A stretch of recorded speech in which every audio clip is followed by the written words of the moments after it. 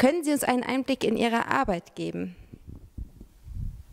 Äh, es gibt verschiedene Facetten von unserer Arbeit. Also von meiner persönlichen Arbeit eher, äh, ich sag mal, viele Gespräche mit äh, Unternehmer und Stiftungen und strategische Gespräche mit Mitarbeitern. Dann haben wir ein Leitungsteam, was genau zwischen Geschäftsführung und operativen Pädagogen arbeitet. Die sind dann sozusagen auch äh, neben einem Berater als auch äh, einzelne bundesweite Aufgaben haben die, zum Beispiel Standortentwickler oder Projektentwickler oder Qualitätssicherer. Dann gibt es noch die Ebene im Chancenwerk, äh, wo die operative pädagogische Arbeit gemacht wird. Das sind die pädagogischen Koordinationskräfte in den einzelnen Städten bundesweit äh, und die sehen zu, dass die Arbeit, so wie wir es wollen, in den Schulen umgesetzt wird. Das Chancenwerk, wenn ich es richtig verstanden habe, ist jetzt eine Nachhilfe. Können Sie kurz sagen, was Sie genau machen für alle, die es noch nicht genau wissen? Also Chancenwerk hat das Ziel, äh, Kindern und Jugendlichen äh, fachlich und persönlich voranzubringen.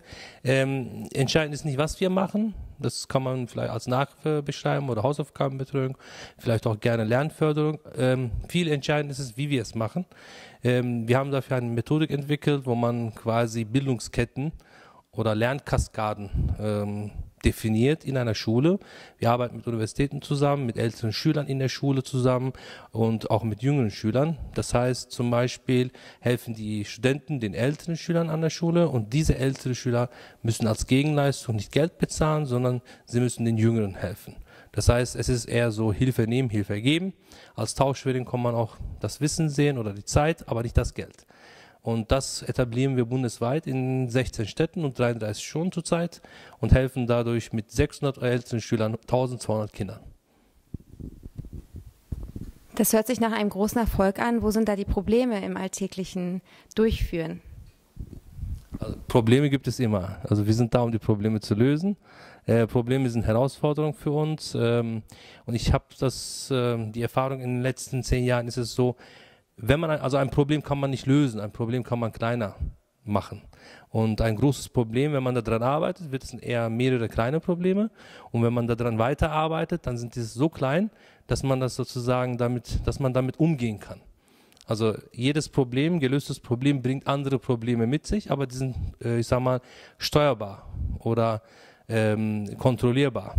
Und Beispiele für Probleme kann ich Ihnen auch gerne nennen, von Schulakquise, bis Umsetzung des Projekts, zum Beispiel mit Studenten, ähm, die dann äh, Semesterferien haben oder Stundenpläne ändern, äh, ältere Schüler, die vielleicht unzuverlässig sein können oder Schulen, die uns vergessen haben, in den Stundenplan noch einzubauen oder äh, Hausmeister, die vergessen, Türen zu, äh, aufzumachen. Also es gibt verschiedene Ebenen von Problemen. Äh, eine wichtige Ebene wäre zum Beispiel die finanzielle Seite. Das heißt, es ist äh, chancenmäßig spendenorientiert. 80 Prozent der Gelder sind Spendengelder und äh, diese muss man auch reinholen. Und das ist auch ein Problem, die man immer lösen muss. Ähm, ja. Sie haben eine große Aufgabe sich vorgenommen. Gab es ein Schlüsselerlebnis? Wie sind Sie dazu gekommen? Ähm, es gibt, glaube ich, verschiedene äh, Schlüsselerlebnisse. Einmal ähm, etwas, was äh, Unbewusstes, äh, was ich immer wieder erlebt habe in Deutschland. Das heißt, ähm, ich habe selbst in der Schule mh, hm, oft äh, hören müssen, dass ich äh, es nicht hinbekomme äh, mit der Schule, dass ich es nicht schaffen kann. Ich war für fünf Jahre in der Türkei, als ich zurückkam, konnte ich kein Deutsch. Und dann hieß es halt, wenn du kein Deutsch kannst, kannst du auch nicht studieren. Ähm, ich habe das Gegenteil beweisen können. Ähm, es gibt aber auch so Element, ähm, äh, Schlüsselerlebnisse, äh, wie zum Beispiel, ähm, ich wohne auf so einem Hochhaus, fünfte Etage. Wenn ich da runter gucke, sehe ich viele Kinder, die aus sozial schwachen Familien kommen. Und wenn man dann immer wieder hört, so wir machen, wir tun für die Integration, für die Bildung in Deutschland, aber ich sehe dann unten die Kinder, die dann doch nicht vorankommen, die dann vielleicht doch die Verlierer dieser Gesellschaft sind, äh, habe ich mich immer gefragt, wo sind, wo bleiben die Hilfen? Warum erreichen das nicht, äh, erreichen diese Hilfen nicht meinen Nachbarn? Ähm, was läuft da schief und was kann ich für mich tun, was kann ich für meine Umgebung tun, was kann ich, äh, wie kann ich meine Welt ändern, meine Welt, vielleicht meine Nachbarschaft, vielleicht mein Wohnviertel. Das waren so Schlüsselerlebnisse. Eine letzte Frage. Was ähm, ist Ihre Vision für die Zukunft? Was glauben Sie, wie wird sich das weiterentwickeln? Ich denke, wir werden äh, weiterhin so wachsen wie in den letzten einigen letzten Jahren. Ähm, Ziel ist es, ähm, dass wir bundesweit in vielen, vielen Städten vertreten sind und auch in vielen, vielen Schulen. Ich sehe mich eher als äh, Unterstützer für die Schulen mit Johnsonberg. Wir müssen halt den Schulen auch beibringen und zeigen, Mut machen, dass man quasi auch, ähm, wenn man auch viele Probleme in der Schule hat, trotzdem was Nützliches hinbekommen kann. Ähm, ich möchte die Schulen äh, sozusagen aktivieren oder helfen bei, äh, bei Aktivieren. Ich möchte denen auch die Möglichkeit oder ähm, denen zeigen, dass man nicht nur halt defizitorientiert denken soll, sondern auch mal die Stärken der Schulen sehen muss. Also ich bin mir 100% sicher, jede Schule in Deutschland hat alles, was man braucht. Man muss es nur anders schalten. Ich bin Elektrotechniker. Äh, man muss es anders äh, verschalten, anders ver zusammenpacken, äh, verketten. Das heißt, äh, wenn ein Kind ein Problem hat, muss ich halt in der Schule jemanden finden, der das Problem für ihn lösen kann oder mit ihm lösen kann.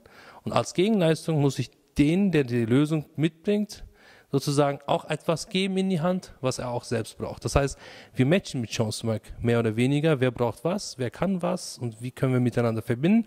Und wenn man das dann in einer Schule macht, bin ich mir sicher, dass eine Schule viel besser funktioniert. Und äh, Chancenwerk sehe ich als äh, sozusagen Unterstützer für die Schulen in der Zukunft, dass wir den Schulen halt beibringen können, vielleicht ähm, beraten können in der Schule oder begleiten können und Diagnostics entwickeln können, evaluieren können und so weiter und so fort, so dass die Schule in sich geschlossen wieder oder viel besser funktioniert, als wenn man halt die Arbeit nicht täte.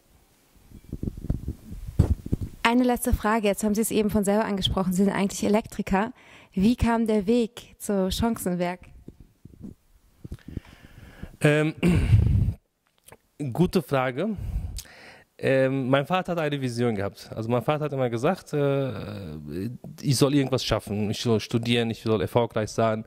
Ähm, und das habe ich halt äh, irgendwie geschafft und habe mit meiner Doktorarbeit angefangen als Ingenieur an der Uni Bochum.